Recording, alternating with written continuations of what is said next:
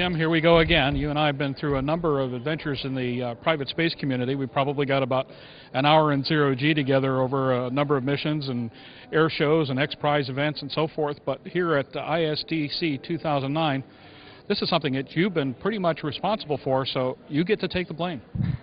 Thanks, Jim. It's an amazing event, and uh, we're really glad to have you here. Uh, ISDC is the culmination of years of work to bring the space community together. It's really the People's Space Conference. So versus a business conference or an industry conference, this is really where the normal person gets to come out and find out what's going on in space and interact with the leaders of the industry. Give me a mission statement for ISDC 2009, especially for this particular time and place. This year, we really focused on making Florida the centerpiece of what's going on. Uh, with shuttle transition going on, moving to the new programs, finding out what's happening, and letting people know what's going on. What are the new programs that are coming up? What's going to be happening in Florida over the next few years? And how that affects the whole rest of the space program. Not just NASA and the things that are going on in, inside the government space, but also in the commercial sector and private space vehicles that are coming up. What I like to say is that ISDC is the place where anybody can come and be a part of space and learn what there is. We have a lot of students come in, we have a lot of entrepreneurs and people that are new to the space industry, and they can immediately get involved. It is a very personal thing now. We had Richard Garriott speak last night, and he told his story of being an astronaut's son that was denied by NASA, and now he has the opportunity to make his own way into space. And uh, his parting words were, the time of talking is over, the time of doing is now, and I think that's what this conference is, is really showing, is that you can go out and be a part of the space industry now. What are some of the most powerful aspects of what you've seen here in the last two days? So far, what I've seen that's really amazing is that the commercial space sector has come together in a way that I didn't know was happening the government and regulatory entities, the individual players that could be in, in, stiff competition and are, are actually working really well together because everybody knows that that's what it's going to take to make this uh, succeed and for everyone to be able to have a place in space. And even at NASA, they have their own vehicles, they're doing their own programs, but they're still supporting the, the commercial space sector. And I think that's a vital message for us to get out to know that even though there's competition and we all want to win, it's also a group effort. And I think that's been amazing to watch here.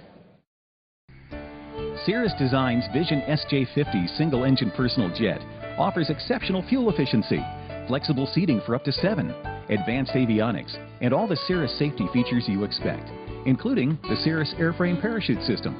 With its detailed design, the Cirrus Vision is technologically advanced, yet engineered to be simple to fly, to allow owner pilots more lifestyle pursuits than any other personal aircraft. Learn more about the Vision SJ50 at cirrusdesign.com. One of the things that's been noticeable to me in some of the NASA presentations is nobody's talking down anymore. The technologies and the people that have that have been in the space industry for a while have finally matured to the point where um, they're no longer seen as fringe. Everybody actually has a place, and there's opportunities for NASA to be able to go out to some of these small startup companies and say, You've got a brilliant idea and a brand new way of doing something, and we'd really love to pull that in and use that expertise that you've got and I, I think this is a fantastic place to, to see that and to be able to talk to some of those people. And for someone getting into the industry to say, how did you do it? What was the path that you took? And what finally made NASA decide to look at you for some of these technologies rather than developing them themselves? And that's a, a fantastic conversation to have, and people here are willing to have it. Let's put you on the spot give a report card to this industry. I'm talking about the private and commercial industry that's grown up around items like X Prize and items like Zero G and items like the Lunar Lander Challenges and a number of other things that have come up that have spurred on innovation and spurred on competition and of course is reacting to an industry that will someday be selling literally rides suborbitally at first and eventually orbitally. Um, how are we doing? Wow, that is a very loaded question. And I think part of the, the difficulty I have in answering is that there's no metric to measure it by. We don't know what success looks like yet. Um, if we tried to do that in the early days of aviation, did you say that they were successful when they were in the barnstorming phase? Was it only successful when you had commercial airliners? Was it really only successful once you had jet airliners? So I think overall the industry continues to rise. Uh, if I had to give it a grade, I'd say a B plus. I think there's always more that could be done, and I think there's definitely room to expand the industry. But the players are very strong. They're numerous. Uh, there's there's turnover and there's companies churning, and I think that's a good sign that you can have some companies fall out and new companies come up to take those spots. So I'd say overall the industry gets a B plus right now. Then the worst question: Where do we go from here? The only place to go is up. And I think we're going to need to continue looking up and figuring out what technologies make the most sense. Uh, we're going to have some companies that fail. We're going to have new companies that get built up by the students that are here at this conference. And we really need to keep working on and looking at how do we work together better? How do we use the, the lessons that we've learned from Apollo and from all of these years doing shuttle to really move out of that phase and let commercial industry take that over while NASA moves on to something else. And I think that's where we go from here is that we start that transition of NASA moving out of low Earth orbit and letting the commercial players completely take that over. Welcome to the Aero News Network, the aviation world's most comprehensive news and information resource. Real-time 24-7 online audio and video programming, where aviation has been getting updated for over a decade.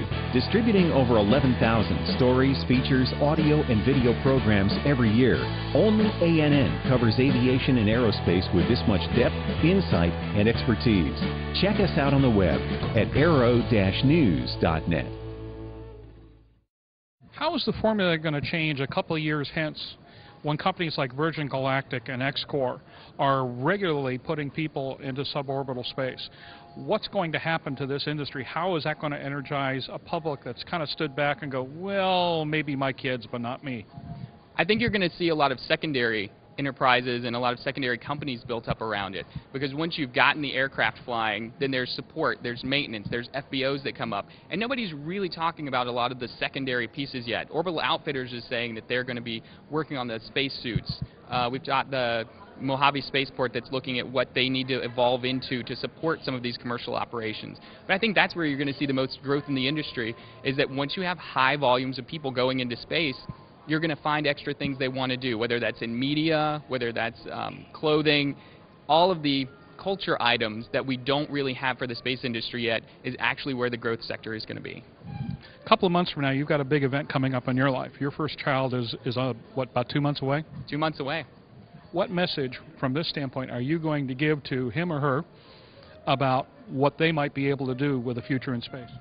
I'm really excited that my daughter is going to be born into a world where space is not only there and accessible to some, but it's accessible to everyone. And she gets to do interior designs for spacecraft. She gets to do lunar habitat construction. You know, whatever she wants to do, living and working in space is now a real part of her life that she's going to grow up with. And I think that's uh, so amazing and so mind blowing. I can't even think of what she might want to do with it. Um, that's not even something that you can do on Earth uh, or that you could imagine having a job doing down here. Uh, I'm waiting to see what I'm going to be doing when I retire, uh, and I can't wait to see what she's doing then too.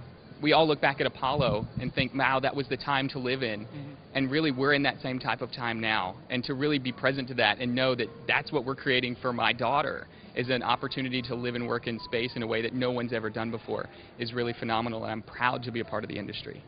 You should be. You've done some great work. Thank you. Thank you.